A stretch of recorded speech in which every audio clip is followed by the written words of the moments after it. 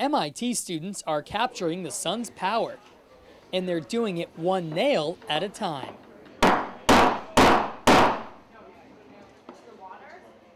These young scientists are building a house powered 100% by the sun. Project leader Corey Fucetola wants the world to appreciate their efforts. What we're trying to do is raise the awareness that renewable energy technology, clean energy technology works. Although many people are aware of solar energy, its current uses are limited. This new home overcomes problems that keep solar powered houses out of the mainstream.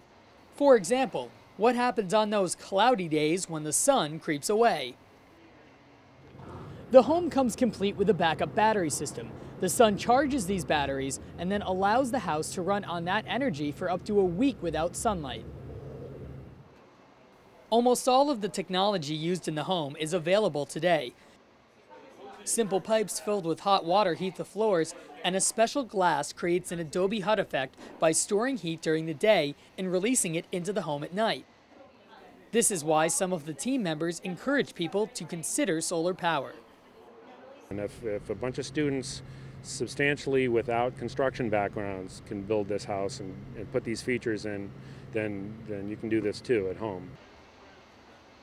The house does cost a bit more than a typical 800 square foot building, but the money saved by not paying for heat and electricity should balance the cost. From Cambridge, this is Phil Milnerick reporting for WEBN News.